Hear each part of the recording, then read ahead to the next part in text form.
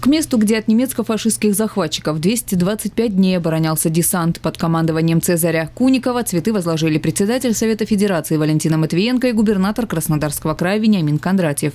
Патриотическая акция «Бескозырка» прошла в юбилейный 50-й раз. Она собрала больше 57 тысяч человек, которые колонной прошли по улицам Новороссийска.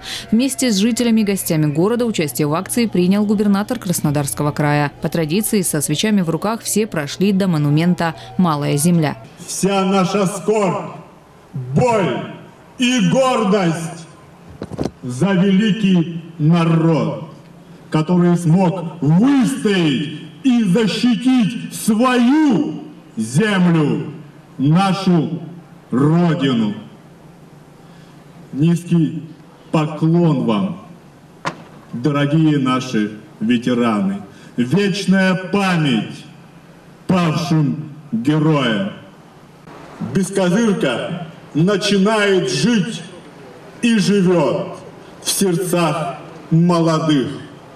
А это значит, что они будут знать и помнить трагические и героические страницы своего города и своей страны.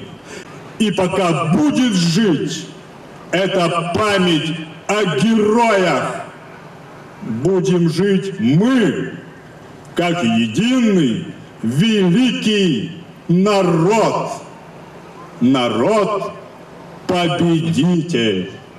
В память о советских бойцах, которые сражались на Малой Земле, военные моряки спустили на воду венок с бескозыркой, ставший символом отваги и мужества.